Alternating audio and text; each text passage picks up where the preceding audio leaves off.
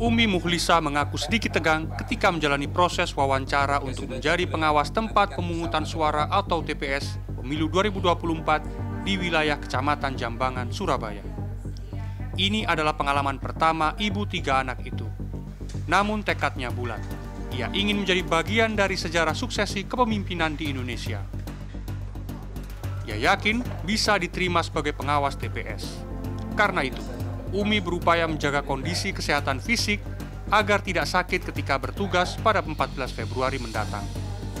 Ia juga menyiapkan mental karena harus berhadapan dengan banyak orang di TPS nantinya. Menurutnya, kesiapan mental dimulai dengan membekali diri dengan pengetahuan terkait pemilu dan tugasnya sebagai pengawas. Saya akan jaga kesehatan saya supaya pas harinya itu uh, nggak nggak terjadi sakit atau gimana untuk mental ya. Pokoknya intinya saya menikmati saya buat santai saya ngikuti semua aturan-aturan itu aja. Lain Umi lain pula Gali Sumanto. Gali mengaku modalnya kuat untuk kembali terpilih. Pasalnya laki-laki 42 tahun itu sudah berpengalaman menjadi pengawas di TPS pemilu tahun ini akan menjadi kali keenam ia terlibat. Saat proses wawancara pun, Galih cukup cakap menjawab pertanyaan-pertanyaan dari anggota Panwascam Jambangan. Materi wawancara terkait sejumlah kasus kepemiluan dan integritas sebagai pengawas. Untuk modal saya ya mulai peng, apa mendaur ulang dari pengalaman saya udah lima kali dan ini yang keenam kalinya untuk jadi pengawas di TPS.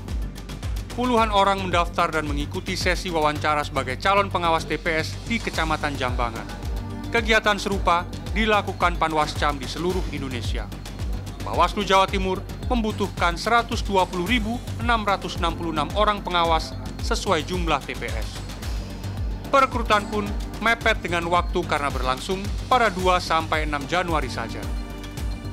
Jika masih belum memenuhi kuota, maka perekrutan diperpanjang pada 7 sampai 8 Januari.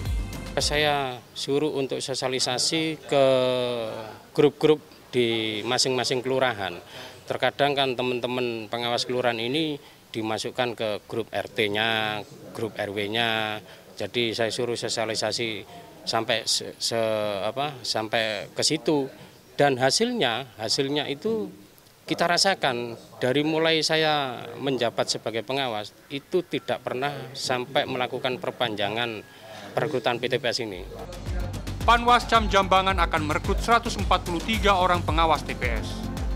Andi optimis jumlah pengawas yang dibutuhkan akan terpenuhi. Para pendaftar didominasi usia muda sebagai bagian dari regenerasi pengawas.